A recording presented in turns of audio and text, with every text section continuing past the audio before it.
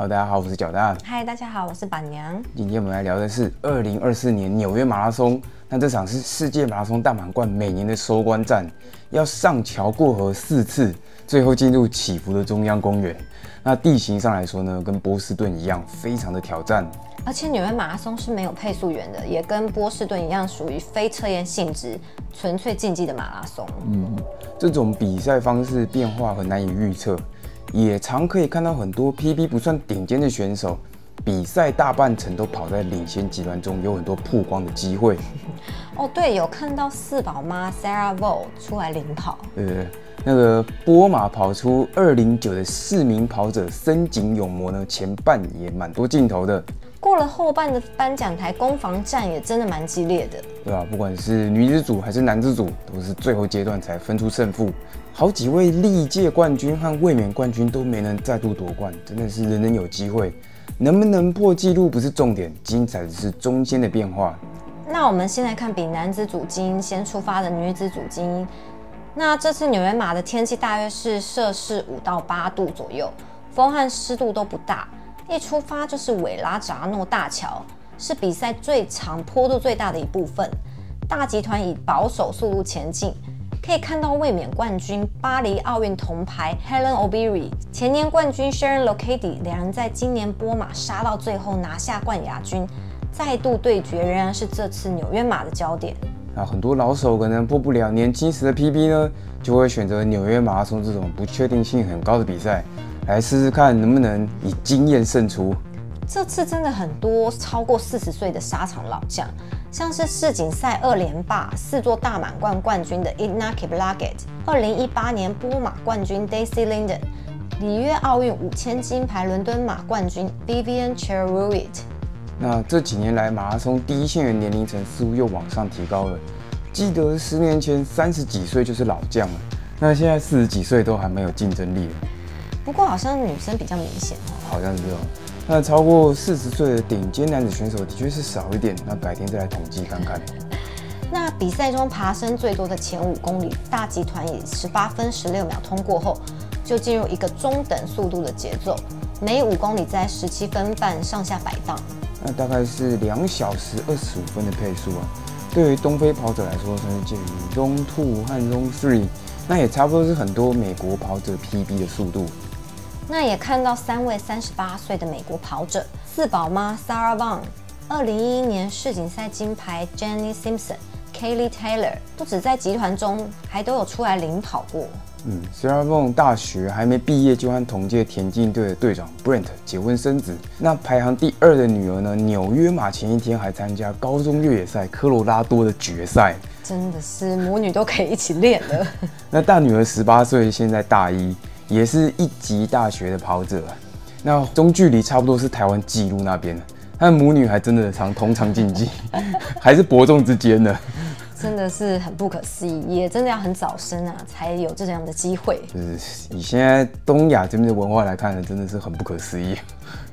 那也看到瑞士一百八十三公分的 Fabini Scalup 在集团中非常的醒目，他巴黎奥运也拿下不错第十六名。那大集团在下那个昆斯博罗桥时呢，他还出来带。那下了桥，东非好手们比赛才真正开始，配速从每五公里十七分台进入十六分台，而且是越来越快。按照地形变化，速度变化也很大，大概上坡每公里三分三十秒内，下坡会来到每公里三分十秒内，都是在上坡时集团有明显加压来做筛选。有能力的选手呢都非常积极。而且即使是被动反应攻击的，也很多追上去平行一起跑，而且不是吸在后面，那这也是比赛中展现信心的一种方式。有时候后面加速追上来并肩，气势有时还反而更高。呃，想到那个漫画《奈绪子》里面有个桥段啊，全国高中一传都有五个人齐头并进，那有位选手使出最拿手的加速，取得几步领先，结果被大家追平，信心崩溃掉下去了。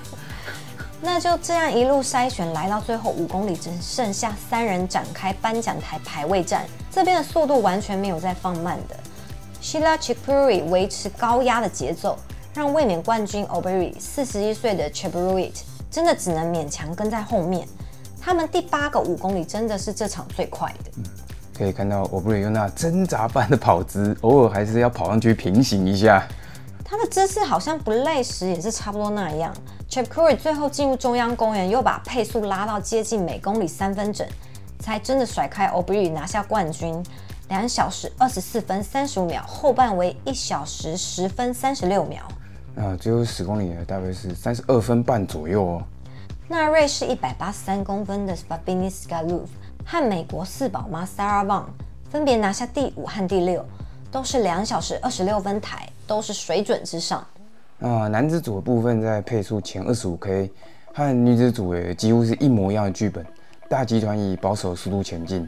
大概是两小时十分内一点的配速，那也一样是东非好手的 Zone Two 到 Zone Three 的强度，也差不多是集团中非裔以外好手的 PB 强度。看波马跑两小时零九分，第八的市民跑者深井勇抹也常出来带，哦对吧？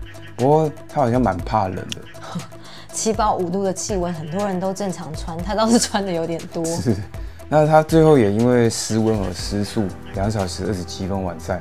那可以看到五十公里的世界纪录保持者美国的 CJ Albertson 出来领跑了几段，他三周前才在芝加哥马拉松跑出两小时零八分十七秒的 PB，今年还跑了波马，两小时零九分五十三秒，第七刚好是在深井前面。嗯，他今年呢也跑四场了，奥运选拔第五，两小时十分，真的是蛮稳的。但毕竟呢，东非军团还是另外一个档次。在下昆斯博罗桥时呢，比赛正式展开。二零二二年冠军伊万切贝发动攻势，把集团撕裂。那进入比较平缓的部分呢，是奥运金牌卫冕冠军 Terry Mitola 出来加压。那这第六个五 K 是不可思议的破二配速，十四分零九秒，很快的集团瘦身到剩下五人。那也正好是这次的前五名。也正好，过去世界冠军都在这个集团中，再加上荷兰的巴黎奥运银牌阿布迪纳古伊，看他跟乔神训练伙伴 Jeffrey Caroal 一样，也是穿 NN。嗯，NN 这两年气势好像走下坡感觉，不过阿布迪这次状况极佳，第七个五公里他们仍然是以破二强度前进。那这边奥运金牌拖拉逐渐力不从心，掉出集团。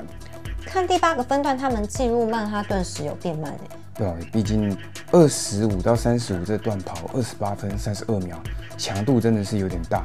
即使是领先的，也要稍微缓一下。那就感觉是最后是比谁掉速比较少。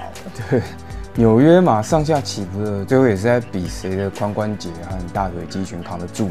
扛不住的话，连下坡都很难跑真的是一条很虐的赛道。对，最后剩下阿布迪和 Chebit。在起伏的中央公园并肩前进，最后五百公尺的阿布迪逐渐取得领先，其实也没有真的疯狂加速，应该说是 Cheb 没力向后退了。最后两公里大概每公里三分内一点而已吧，所以是有一点像高有氧，二十五公里破二配速，十公里高强度，最后七公里看谁撑得住。对，差不多是这样。而前五名刚好也全都是纽约马这五届的冠军得主。哦，对。第六名的 Corner Mans 和第七名的 Clayton Young，两位是今年连续第三场以非常接近的差距一前一后进终点，都是两小时零八到零九分。那他们是杨百翰大学的队友，毕业后一起在杨百翰大学训练，现在稳定保持在美国马拉松的前两强。那 Clayton Young 呢，也有开频道分享他们的训练和想法。看 Corner 每次训练都很用力很猛。那 Clayton 反而常常跑到一半落后，先跳车，但是又能好好的一起训练，比赛又很接近，也是蛮有趣的。每个人的习惯的训练模式都有点不同啊，也很难说他们两个谁做比较正确，就是。或许这就是他们找到适合自己的方式和配合的伙伴吧。呃，一个人有伴，然后拼命用力跑，那另外一个人呢，跑到一半感觉差不多了就放掉，帮忙加油。然后比赛都能发挥自己的实力，这样好像还不错 哎。对对对，了解自己真实的实力和目标比较重要。哦，对，那个奥运金牌托拉斯要说他明年想要挑战世界纪录，那这次比赛还是有感觉到奥运后的疲劳了。其实最后几公里都还能看到他在远远的背景中，嗯，呃，看起来真的是脚力比较重，力不从心的感觉。那体能水准应该还是有的。毕竟二十五到三十五公里加压，这几乎都是他来带。他的世界纪录挑战也会在柏林和芝加哥做一个选择。那就让大家拭目以待喽。那这次纽约马拉松的分享就到这喽。有任何的想法和讨论，欢迎留言分享。感谢您的收看，我们不停脚，下次见。下次见。